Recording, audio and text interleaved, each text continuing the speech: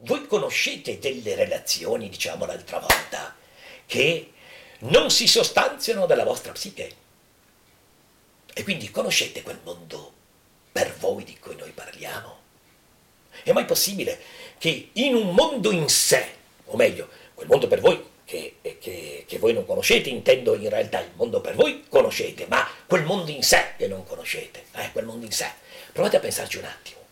È mai possibile che un mondo in sé, cioè il mondo in se stesso nel significato profondo che ha, non abbia delle relazioni? È certo che le avrà, no? Si presume, si presume che gli esseri siano legati in qualche maniera, o no? Si presume che gli esseri siano in relazione fra di loro, diciamo che abbiano dei legami fra di loro. Mm?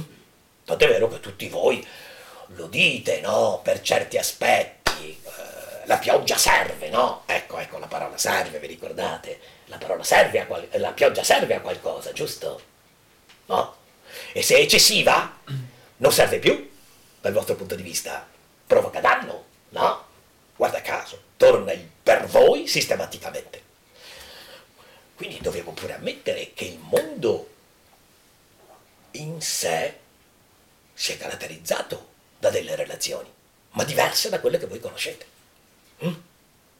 E se la mente non è quieta, voi quando cercherete le relazioni in questo mondo in sé, che cosa vedrete se non di nuovo la vostra psiche? Non so se è chiaro. Andate in cerca di qualcosa che vi torna o non vi torna. Ed è questa la difficoltà. Se la mente non si quieta un po', e si quieta, abbiamo sempre detto ultimamente, nel piccolo quotidiano, nel piccolo del piccolo, nell'appassionarvi per il piccolo, per l'impermanenza, per il transeunte. Se non succede questo, è inesorabile che quando voi cercate le relazioni, perché vivere e relazionarsi, abbiamo detto, in questo mondo che non è il mondo per voi, ma in qualcos'altro, eh, rischiate di nuovo di incontrare che cosa? Ciò che voi leggete di questo mondo, ma che non è questo mondo di nuovo. È chiaro? Indicavamo un'altra cosa l'altra volta che caratterizza il vostro modo di relazionarvi.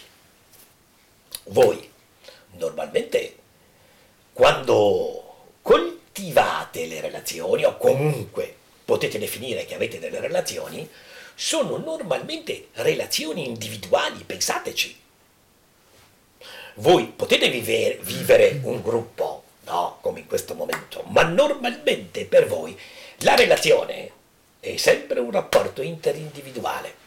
Tant'è vero che ci sono più persone, non potete coltivare contemporaneamente le più persone contemporaneamente alla stessa maniera.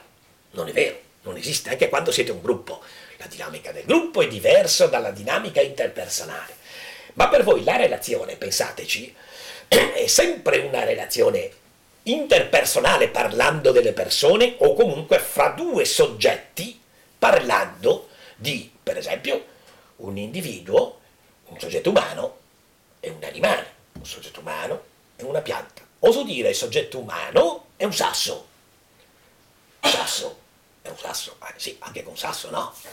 Pensate se siete degli amanti di certe, come dire, eh, di certe configurazioni della natura che hanno prodotto certi cristalli e via dicendo, magari andate a cercare e poi li pulite, eh, come dire, li catalogate e via dicendo. Mantenete una relazione, voi direste unilaterale, unilaterale in questo caso perché non c'è una risposta da parte dell'altro soggetto, ma per voi una, è una relazione che non osereste mai definire tale se la paragonate con un essere umano.